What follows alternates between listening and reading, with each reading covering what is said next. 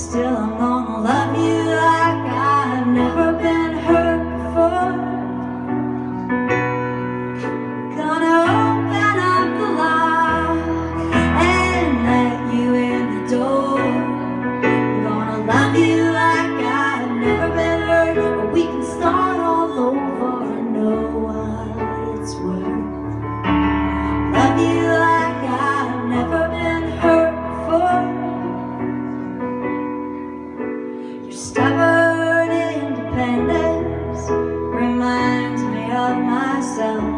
It doesn't make a lot of sense.